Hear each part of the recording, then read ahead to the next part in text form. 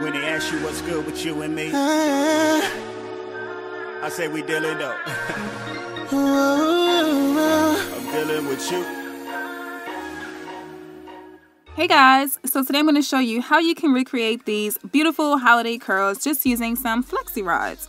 So I'm starting off on freshly washed hair and I went ahead and sectioned my hair into four separate sections.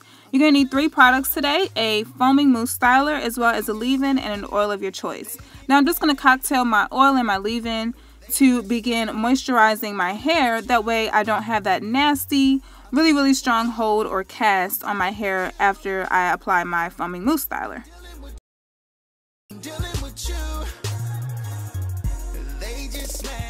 So I'm just thoroughly distributing this little cocktail to all four sections. I just want to make sure that my hair is really, really nice and moisturized.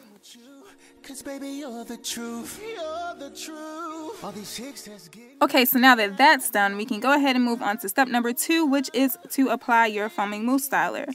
I just went ahead and parted off a little 4x4 section and I'm going to go ahead and detangle this. You want to make sure that your hair is really, really nice and detangled before you begin flexi rodding. I personally like to lock my roots before I apply the flexi rod to my hair, and this can easily be achieved by just twisting your hair in the direction in which you will be wrapping your hair around the flexi rod. This will ensure that you'll have nice, sleek roots that will match the ends of your hair, which will have that nice flexi rodded texture pretty much you're avoiding the puffy root effect that many of us get when we don't lock our roots. So now I'm just going to go ahead and continue wrapping my hair around the flexi rod and where my hair ends is where I'm going to go ahead and bend the flexi rod to hold that into place that way it doesn't unravel. I'm just going to continue this step around my entire head, locking all of my hair in these flexi rods.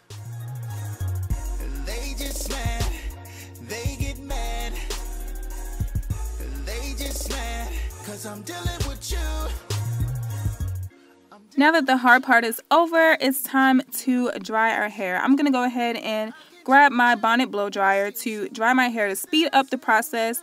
Now, just to give you guys a gist of how long it took, I sat under the dryer for about two hours exact and my hair still wasn't dry. So imagine if I were to go ahead and sleep on this, it probably would take forever to dry. But if you have thinner hair, you can sleep on these rods or like I said, just go ahead and grab your bonnet blow dryer and sit under the dryer until it's done and complete. So after my hair has been dried thoroughly, I'll go ahead and take down my flexi rods. And I'm going to do this very, very carefully. That way I don't disturb the curl pattern or create any unwanted frizz.